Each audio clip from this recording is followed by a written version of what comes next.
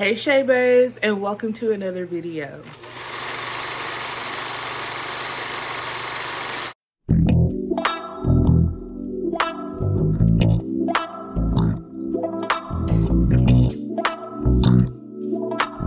My name is Shaylah for those of you that don't know me. Welcome.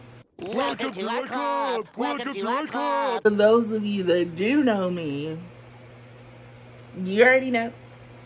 My name is Shaylah, and I'm the best of the DJs want to for my hair. Hey yo, hey yo, hey yo, hey yo, hey, hey, hey. As y'all can see by the title of today's video, I am celebrating being locked for a year.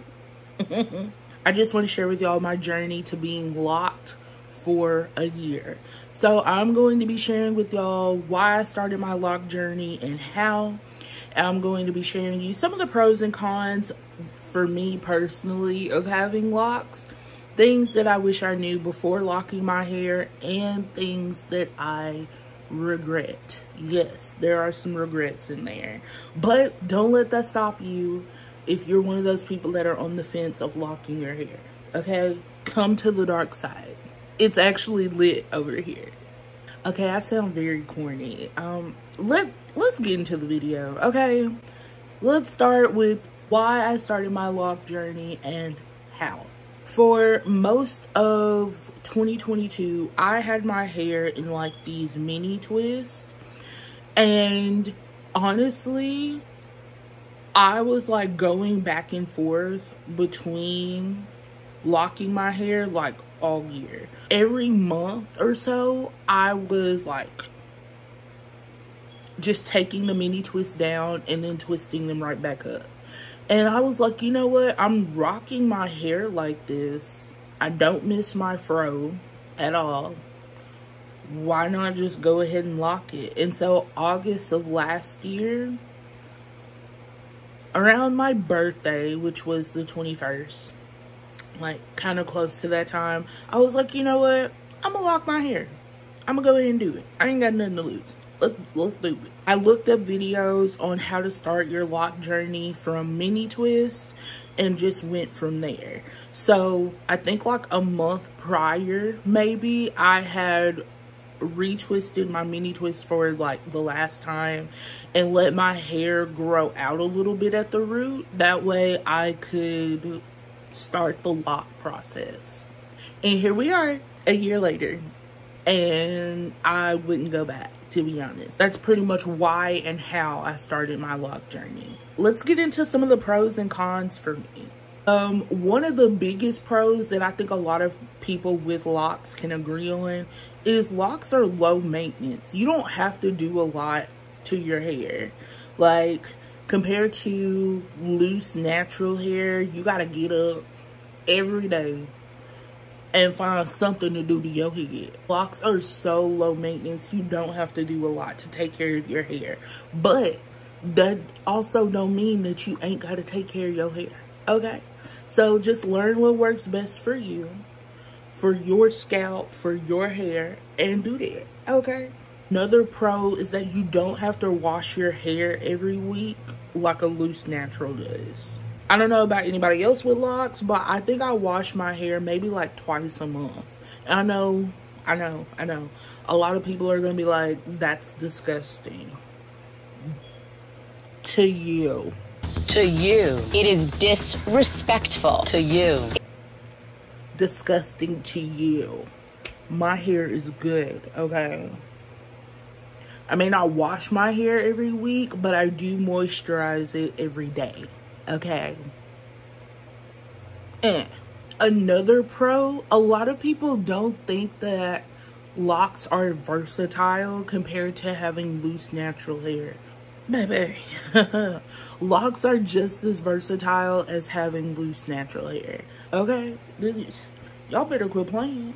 So some things that I wish I knew before locking my hair is that your hair won't lock immediately. My one year lock anniversary is actually before the 26th, but since I can't remember the day I locked my hair, like actually started my lock journey, I was like, you know what, we're just gonna roll with the 26th. And uh, that's, that's what we're gonna roll with. So, yeah. And to kind of piggyback off the low maintenance thing, something that I wish I knew in the beginning of my lock journey is that your hair doesn't require a lot of maintenance. You don't have to deep condition your locks because that stuff is to get trapped in your hair. I'm not to lie to y'all, I do use like a leave-in. I put like a leave-in conditioner uh, in my water and use it as like a spray versus like at the beginning of my journey where I was like applying the conditioner directly onto my hair. If you're like me and you're really good at making sure your hair is clean, that's totally fine. You, like I said, do what works best for your hair, but also be careful. Although locks are low maintenance, one con for me is when they get married at the root. Ugh, that's a con for me. That's a con for me. For me. I don't know about anybody else, but it's a con for me. Okay, moving on. This video is going to be pretty short, honey. I know some of y'all are not mad at that. I want to talk about some of the things that I regret. One of the biggest things I regret about my lock journey is not taking enough pictures and videos from when I started versus now. I, I don't have like a lot of pictures and videos of like growth or anything like that.